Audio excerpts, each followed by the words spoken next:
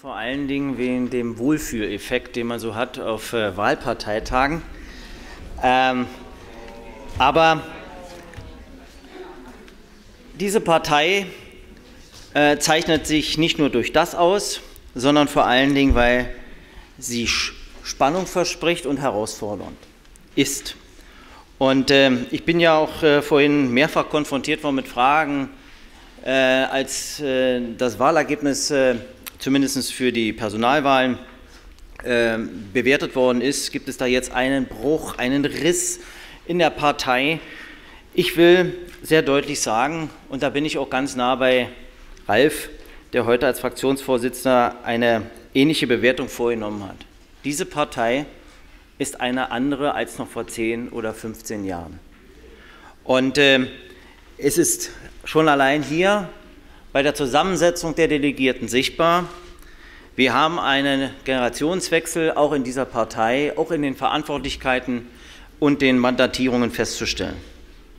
Und da gibt es auch unterschiedliche Vorstellungen vom Politikbetrieb, von der Art und Weise auch von Politikgestaltung.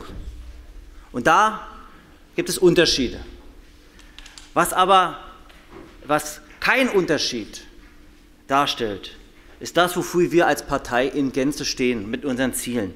Und das will ich sehr deutlich sagen. Da gibt es keine, da gibt es nicht eine Lücke, die dazu führen kann, dass man hier aus diesem Wahlparteitag eine, eine Ableitung vornimmt, dass wir hier uns politisch in Zielen und Grundsätzen verstritten haben, beziehungsweise es hier die Schere weiter aufgeht. Das ist nicht der Fall.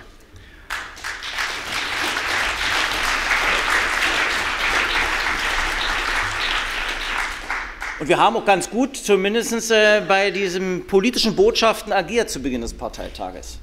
Ich fand, das, was ich da lesen konnte, war gut und richtig und waren auch Antworten auf Fragen, die draußen an uns gestellt werden. Wir haben es dann aber natürlich auch, und es ist nun mal bei demokratischen Wahlen so, dass dann äh, Personalwahlen oder Entscheidungen dann viel wichtiger waren und dass das dann natürlich dann die politische Botschaft in den Hintergrund trat und das nach vorn trat. Das hätte ich mir natürlich anders gewünscht. Nicht das Ergebnis groß bei mir, ich habe, ja, ein, zwei Prozent hätte ich noch erwartet, aber ich sage mal, mit 70 Prozent Zustimmung ist ein Parteivorsitzender gewählt. Und zwar so gewählt, dass er, dass er diese Partei auch mit diesem Mandat führt. Was ich mir aber gewünscht hätte, wäre eine offene Aussprache, offenere Aussprache in dem Bereich der Kandidatenaufstellung, wenn es darum geht, wenn es da unterschiedliche Bewertungen über die Art und Weise, wie wir Politik gestalten. Das hätte ich mir gewünscht. Das ist aber, liebe Genossinnen und Genossen, Schnee von gestern. Das ist Schnee von gestern. Und deshalb gibt es jetzt zwei Punkte, was ist zu tun. Erstens, wer jetzt denkt, dass wir auf der Grundlage dieses Wahlergebnisses, auch des Wahlergebnisses, was äh, wir hier auch vernommen haben, denkt, dass wir uns jetzt mit Innereien oder der politischen Nabelschau beschäftigen, der liegt falsch. Der liegt falsch. Der wird sich auch irren. Wir werden, wenn dieser Parteitag beendet ist, unsere Aufgabe wahrnehmen als Linke, als Regierungspartei, Linke, mit aller Kraft die Inhalte, die Inhalte, vor die wir stehen. Und das ist der, das Ringen um den Einstieg in die Gemeinschaftsschule. Das ist gute Bildung von Anfang an.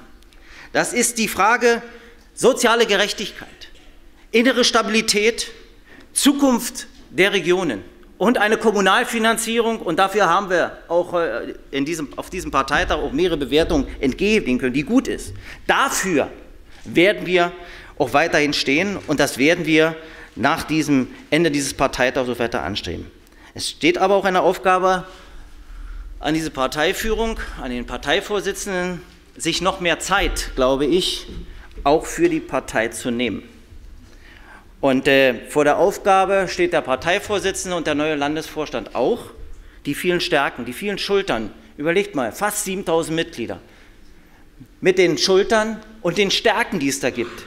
Diese Stärken eben auch einzusammeln und äh, dafür in Politik umzumünzen. Und zwar so, dass äh, nicht alles oder wenige alles machen, sondern wir, wir gemeinsam hier bestimmte Sachen auch gemeinsam wegtragen. Ich glaube, ganz wichtig ist auch nochmal, sich äh, zu hinterfragen, auch die Kommunikation in die Partei, innerhalb der Partei. Auch das werde ich mir selbstkritisch auch nochmal auf den Tisch ziehen. Ich glaube, auch der Landesvorstand wird das auch als einer seiner ersten äh, sicherlich Aufgaben besprechen und daraus Schlussfolgerungen ableiten. Aber, liebe Genossinnen und Genossen, ein Angebot muss dann auch angenommen werden. Das kann keine Einbahnstraße sein. Und ich glaube, dazu sind wir auch in der Lage, dies offen und solidarisch zu führen. Lasst mich etwas sagen, wie geht es jetzt weiter mit der Nichtbesetzung äh, der Funktion der Landesgeschäftsführung. Bevor ich aber dazu komme, will ich, ich habe das gestern Abend schon mal gemacht, aber ich glaube, nachdem ich die auch sehr viel Betroffenheit mitbekommen habe, was gestern dieses Wahlergebnis auch hervorgerufen hat, ich will, und Andrea ist ja noch da, auch nochmal Danke sagen. Danke, Andrea, auch, für, auch als Vorsitzender für die gute Zusammenarbeit in den letzten Jahren und das Vertrauen, was wir miteinander hatten. Und ich glaube, wir werden auch die Zusammenarbeit in einer anderen Konstellation, und da hat ja Harald schon die nächsten Herausforderungen genannt, auch weiter fortsetzen. Nochmal vielen Dank, Andrea.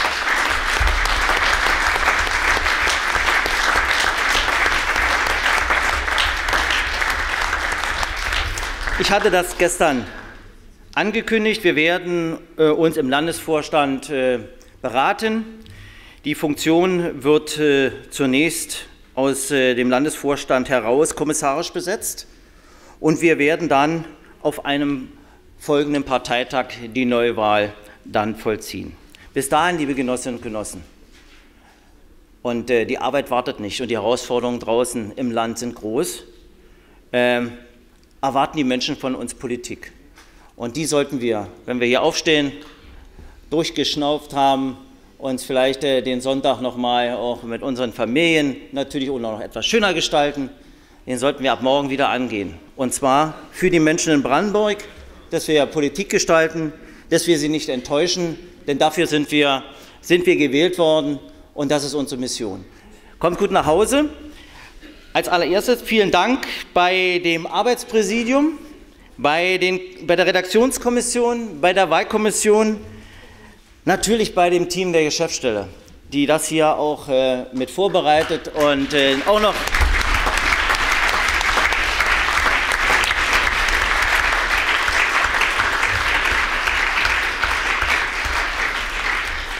und auch noch nachbereiten muss. Und vielen Dank auch dem Management des Tagungshotels. Ich glaube, das war eine, eine gute Auswahl, die wir hier getroffen haben. Kommt gut nach Hause und bleibt vor allen Dingen gesund. Und dann geht es ab Montag weiter. Vielen Dank.